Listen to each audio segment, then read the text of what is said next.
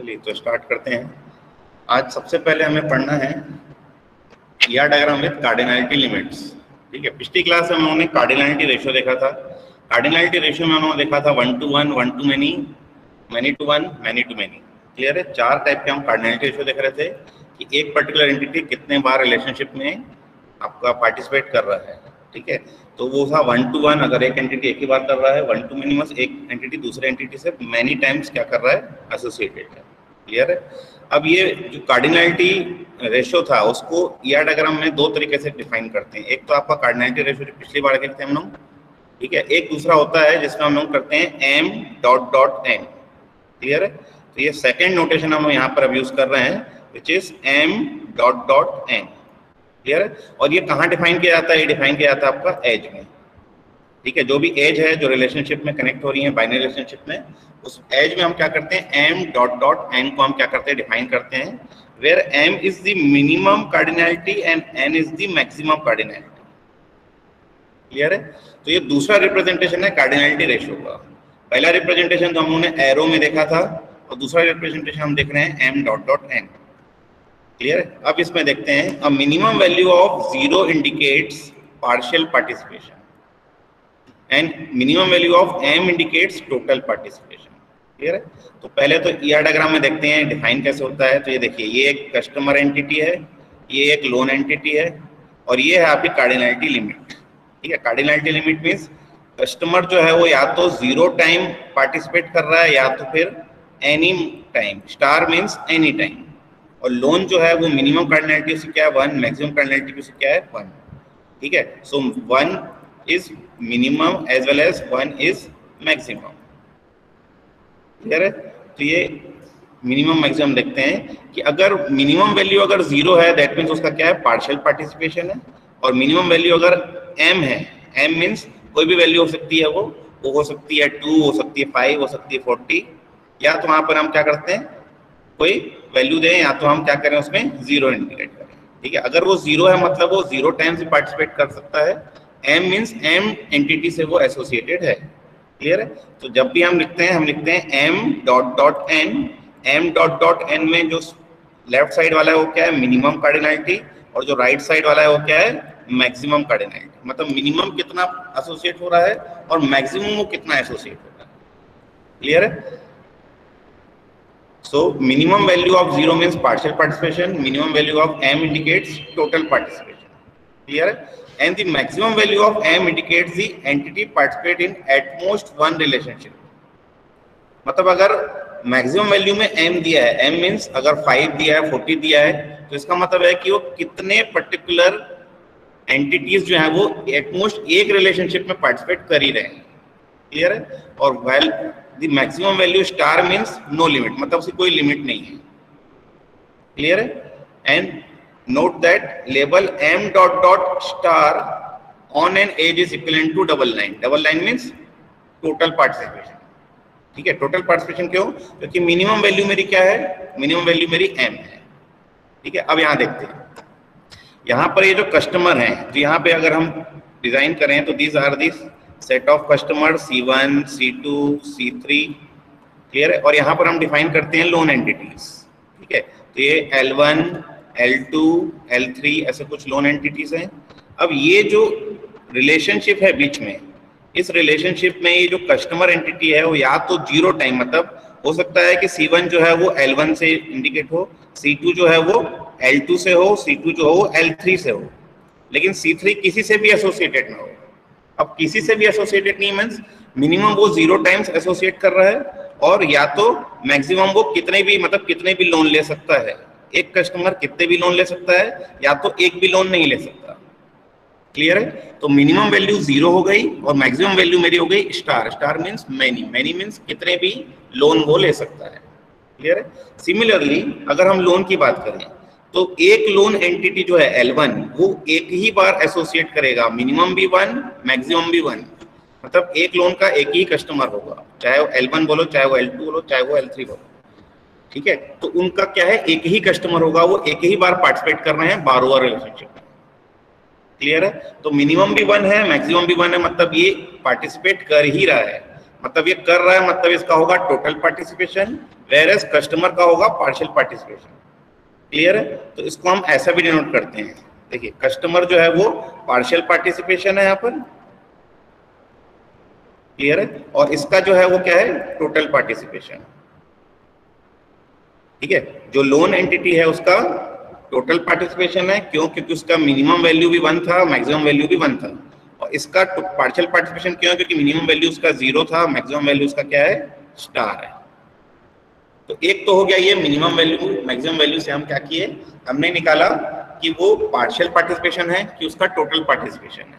Clear अब दूसरा देखते हैं इसमें कि अगर मैं लिखता हूँ मैक्सिमम वैल्यू एम लिखता हूँ ठीक है? तो मतलब एटमोस्ट वन रिलेशनशिप में वो क्या कर रहा है? पार्टिसिपेट कर ही रहा है। क्लियर है? दैट मीन्स अगर मैं इसको बोलूँ कि this relationship borrower is one to many many to one many to many और one to many to one from customer to loan क्या होगा? ठीक है? तो ये क्या होगा कि कस्टमर जो है वो या तो ज़ीरो टाइम्स पार्टिसिपेट कर रहा है या तो मैनी टाइम्स पार्टिसिपेट कर रहा है। मतलब from customer to loan it is one to many क्योंकि एक कस्टमर एक से ज़्यादा लोन बोरो कर सकता है। क्लियर है? और लोन टू कस्टमर अगर मैं बोलूँ, ठीक है तो एक लोन एक ही कस्टमर को मिल रहा है। So one to one from loan to customer so overall this is one to many from customer to loan so, it is one to many from customer to loan and it is many to one from loan to customer clear है? तो दो तरीके से question पूछ सकता है इसमें। पहला, कि कस्टमर का टोटल पार्टिसिपेशन है कि पार्शियल पार्टिसिपेशन है? तो ज़ीरो इंडिकेट कर रहा है मतलब कस्टमर का क्या है? पार्शियल पार्टिसिपेशन है। ठीक है? फिर पूछता है कि लोन का टोटल पार्टिसिपेशन की पार्शियल पार्टिसिपेशन तो मिनिमम वैल्यूज़ की देख रहे हैं हम तो मिनिमम वैल्यू है इसकी वन अब मिनिमम वैल्यू वन दिया है मतलब इसका क्या है? टोटल पार्टिसिपेशन है। मतलब हर जो लोन है वो कम से कम एक कस्टमर को दिया ही जा रहा है। क्लियर है? दूसरा क्वेश्चन पूछता है कि it is which type of relationship one to many और मैनी टू वन और मैनी टू मैनी क्लियर है? तो अब इसमें देखने के लिए हमें क्या करना पड़ेगा? यहाँ पे ये जो मैक्सिमम वैल्यू है, उसको देखना पड़ेगा। ठीक है? तो मैक्सिमम वैल्यू क्या है? वन मैक्सिमम वैल्यू वन मतलब एक लोन एक ही कस्टमर को दिया जाएगा। तो एक ही कस्टमर है मतलब कस्टमर साइड में क्या हो जाएगा? ये वन ठीक है? और यहाँ पे स्टार दिया हुआ है मतलब ये एक कस्टमर एक से ज़्यादा लोन एंटिटीज में एसोसिएट हो सकता है। मतलब ये हो जाएगा हमारा M so one to many from customer to loan clear है? It is one to many from customer to loan and it is many to one from loan to customer clear है? यहाँ तक किसी को doubt any doubt Am I audible? आवाज़ आ रही है? Yes sir yes sir yes sir हाँ। किसी को सर एक बार और बता एक बार और बता दूँ। तो कार्डिनलिटी लिमिट पढ़ रहे हैं हम ठीक है? मैं इसको पूरा क्लियर कर देता हूँ।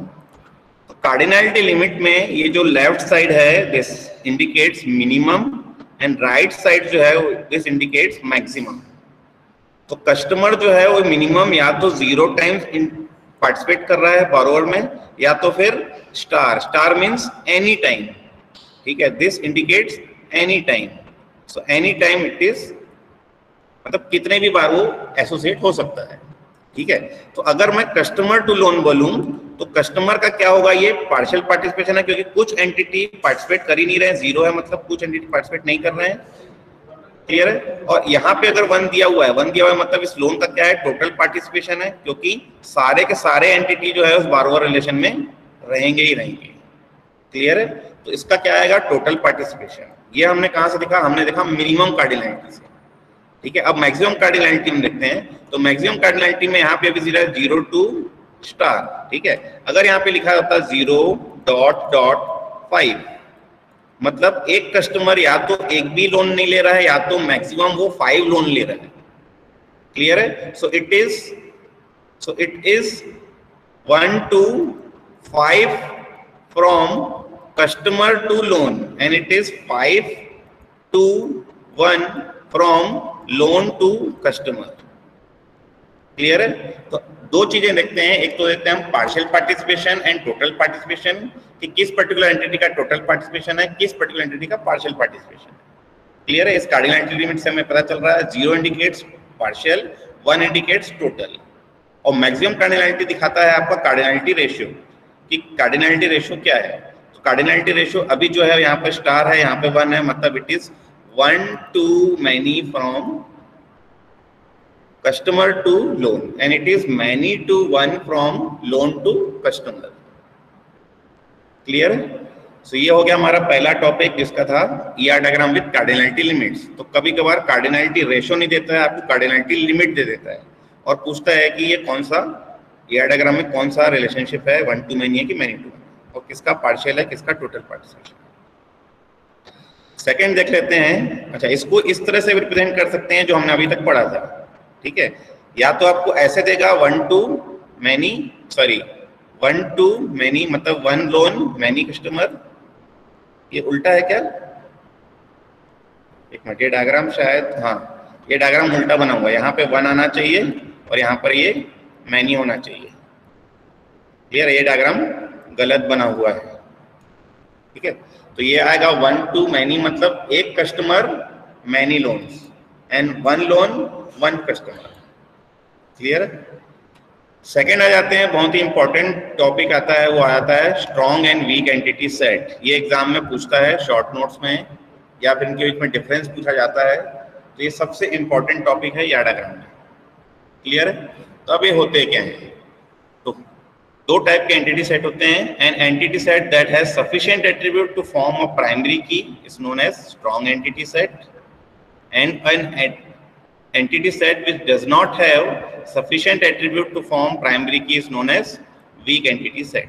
मतलब अगर किसी एंटिटी सेट में मेरे पास ऐसा पहले से कोई एट्रीब्यूट है, जिससे मैं सारे के सारे एंटिटीज को यूनिकली आइडेंटिफाई कर पा रहा हूँ तो उस एंटिटी सेट को हम बोलेंगे स्ट्रॉन्ग एंटिटी सेट और उस पर्टिकुलर एट्रीब्यूट को हम बोलेंगे प्राइम एट्रीब्यूट या primary key of strong entity set ठीक है? लेकिन अगर किसी वीक अगर किसी एंटिटी सेट के पास सफिशिएंट एट्रीब्यूट नहीं है कि वो प्राइमरी की बन पाए, ठीक है? तो उसको हम बोलेंगे वीक एंटिटी सेट क्लियर है? तो ईआर e डायग्राम देखते हैं। ईआर e डायग्राम में अगर हम यहाँ देखें, दो एंटिटी सेट है हमारे पास। एक है लोन और दूसरा है पेमेंट तो लोन के जो एट्रीब्यूट्स हैं वो हैं loan number and loan amount मतलब कितना लोन अमाउंट लिया गया है, किस लोन नंबर पे? ठीक है कि ये एक लोन L1 है और उसका अमाउंट जो है वो फाइव मिलियन है। लोन L2 है उसका टू मिलियन अमाउंट है ठीक है? तो कुछ इस तरह हम क्या कर रहे हैं रिप्रेजेंट कर रहे हैं कि एक लोन नंबर है और एक लोन अमाउंट है। तो मेरे पास हर लोन को आइडेंटिफाई करने के लिए एक ने कोई ना कोई लोन आईडी है। L1, L2 up to any number of ID clear है? लेकिन अगर मैं पेमेंट की बात करूँ तो पेमेंट के लिए जो एट्रीब्यूट्स हमारे पास वो है payment number payment date payment amount clear है? Payment number payment date payment amount sir sir Yuvraj को अंदर आना सर तो मैंने ऑटोमेटिक ऑन रखा है मैंने क्लोज नहीं किया है. उसको बोलो रिफ्रेश करेगा और आ जाएगा. क्लियर है? सो so, पेमेंट अगर मैं एंटिटी सेट की बात करूँ जब भी मैं पेमेंट की बात करूँगा तो मैं यहाँ तो पूछूँगा कि किस चीज़ का पेमेंट है? या ये लोन का पेमेंट है? या किसी फ़ीस का पेमेंट है? या किसी फाइन का पेमेंट है? ठीक है तो इस पेमेंट का अपना कोई एग्जिस्टेंस नहीं है। क्लियर है?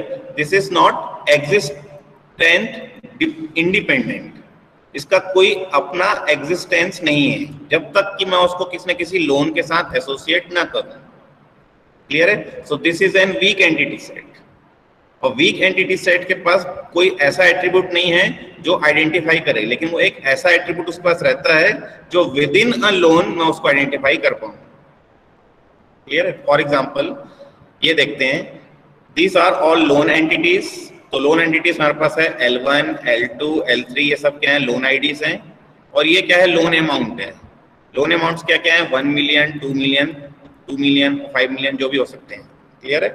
और ये हमारे पेमेंट एंटिटीज मतलब लोन L1 का पहला पेमेंट कितना हुआ? टेन थाउज़ेंड लोन L1 का सेकंड पेमेंट किया गया टेन थाउज़ेंड लोन L1 का थर्ड पेमेंट किया गया टेन थाउज़ेंड क्लियर है? और पेमेंट हो सकते हैं इसके आगे। तो ये डैश डैश है। सिमिलरली L2 का पहला पेमेंट क्या है? वो है five thousand fifty thousand loan L2 का जो सेकंड पेमेंट है, वो क्या है? फिफ्टी थाउज़ेंड क्लियर है? मतलब यहाँ पर क्या है कि जो पेमेंट मैं कर रहा हूँ, वो पेमेंट मुझे बताना पड़ेगा कि इस L1 पेमेंट का पहला इंस्टॉलमेंट पे किया गया है।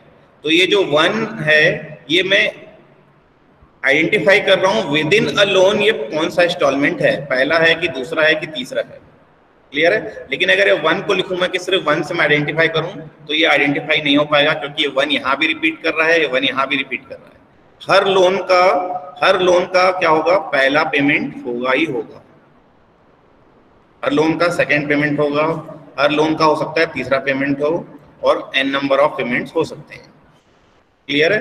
तो इस पर्टिकुलर एट्रीब्यूट को जो हम बोल रहे हैं that means an weak entity set has a attribute which identifies which identifies the entities within a loan ठीक है विद इन अ लोन में क्या कर सकता हूँ? आइडेंटिफाई करने के लिए हमारे पास एक एट्रीब्यूट होता है। इस एट्रीब्यूट को हम बोलते हैं डिस्क्रिमिनेटर और पार्शियल की क्लियर है? तो यहाँ देखते हैं पहले।